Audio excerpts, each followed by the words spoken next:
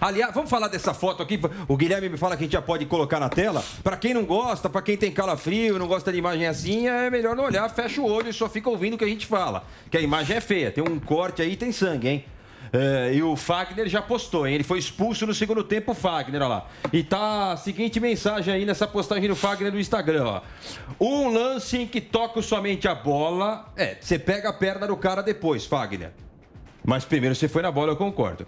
Sou expulso, prejudicando a minha equipe. O resultado da falta, ele põe entre aspas a falta, está aí, põe o dedinho indicador para cima. E aí tem um baita de um rombo na canela direita do Fagner, Levou a sangue pior. para todo lado. Levou a pior. Mas já isso. cansamos também, Nilson, não é, não é só porque tem sangue e uma marca aí na perna que ele não toca no adversário. Não significa que o adversário tocou nele. Já cansamos de ver jogadores dando uma É, butinada em alguém e o cara se também que machuca. foi, que foi injusto a expulsão. É, mas eu não Foi, o foi, expulsaria. A imagem aí é feia, hein?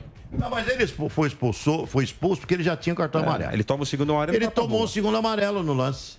A expulsão foi Mas não merecia. Não merecia, Mas não pilhar. merecia o Não segundo merecia. amarelo. Não Eu não merecia. acho que mereceu o segundo amarelo, não. Também acho. Também Eu Eu, acho. que, eu- eu- eu eu acho que achei foi mais mais pela tra- fama. Eu acho que foi É a mais- mesma coisa. O Fagner, Felipe Melo, eles, pela fama, eles É acabam sendo histórico, expulsos. tem razão, é histórico. É, eu, eu não achei que mereceu, não, Nilson. Não achei de verdade, porque é um lance que, na minha opinião, podia nem marcar falta. Nem marcar falta. E, e eu acho que sim, ele tem que ficar indignado, sim, com a expulsão. Porque, mais uma vez, foi pela fama. E aí o árbitro pode ter pensado como você, como o Vampeta, que o Vampeta falou que na narração você falou, ele vai revidar. O árbitro deve ter achado a mesma coisa. E não tem VAR, Flávio. Tem gente mandando mensagem aqui falando porque não foi. Não tem VAR. Não tem VAR, E por isso VAR. que o Fagner não O- teve. Poderia o- até ser cancelado o cartão se tivesse VAR. Ô, Márcio, olha, olha só, a rede social já fala de um momento que o Vampeta estava lá, do tempo que o Júnior durou, durou como treinador do Corinthians. Dez dias. Já estão lembrando Era uma dessa dupla Não, você tá louco que 10 dias? Eu tava lá. Foi o Júnior- menos? Menos. O Júnior chegou de manhã, se apresentou à tarde. Ele não perdeu dois jogos?